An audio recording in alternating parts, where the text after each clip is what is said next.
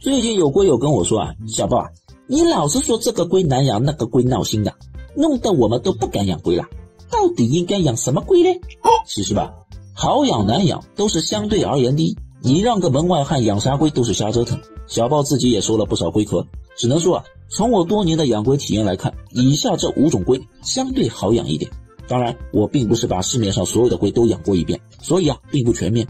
要是大家有更好的提名，欢迎发表在评论区，大伙儿一起参考参考。点赞、关注加转发，养龟顺利，很健康。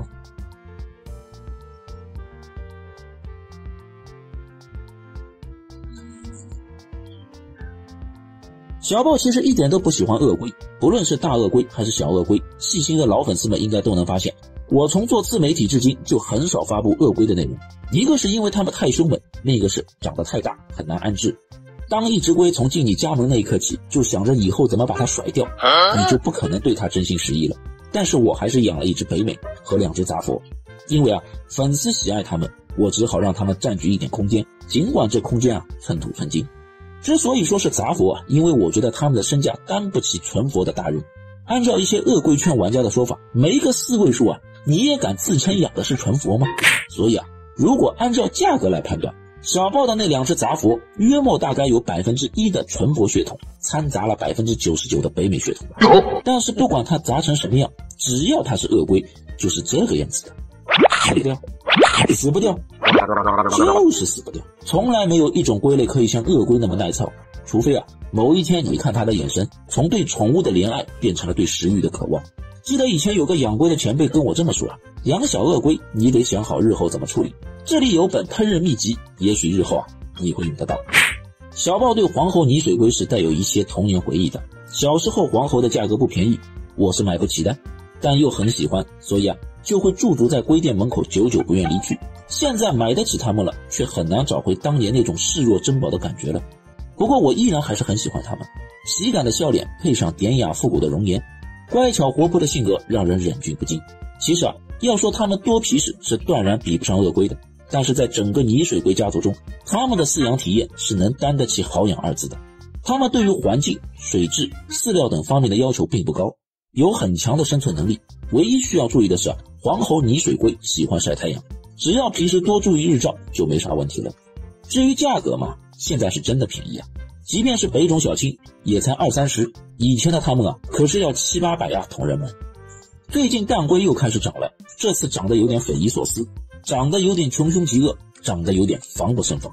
麝香龟作为最平价的蛋龟，居然也遭到了资本炒作的毒手，开始不要脸的蹭蹭蹭往上涨了。不对，是 biu biu biu 往上涨。据说啊，已经从七十块涨到一百三十块，那几乎是翻了一倍啊。都说麝香颜值不高，这个我承认啊，黑不溜秋的。但是自从国产红面来了以后，麝香的地位加一了。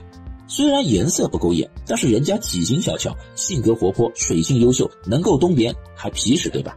而且现在也有所谓的高黄麝香，观赏性上有了更多的选择了。如果你不建议它再涨价，不妨试一试。作为麝香龟属下的另一位成员，剃刀一直是小豹最喜爱的品种之一。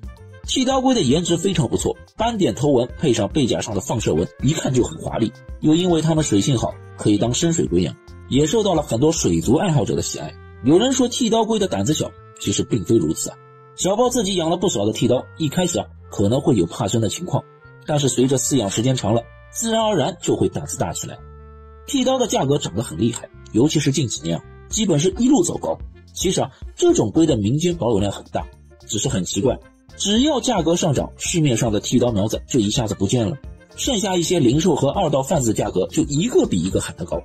哎，真的是罪过罪过啊！接下来是压轴了，你们知道我要说谁了吗？没错了，当然是小豹的最爱黄缘碧可龟了。黄猿作为宠物龟，自然是没得说了。外表儒雅大气、活泼好动，还特别粘人。每一只黄猿龟的体内都隐藏着忠犬的灵魂。虽然它们的售价不低，但是依然挡不住养龟爱好者的向往。而且啊，是养一只想两只，养两只想三只，不知不觉啊，就变成了黄猿大户了。真就对应了一首歌曲的歌词啊！有人问我你究竟是哪里好？这么多年我还忘不了。春风再美也比不上你的笑，没见过你的人不会明了。养着养着就鬼迷心窍了。我是小豹，我们下期再见了。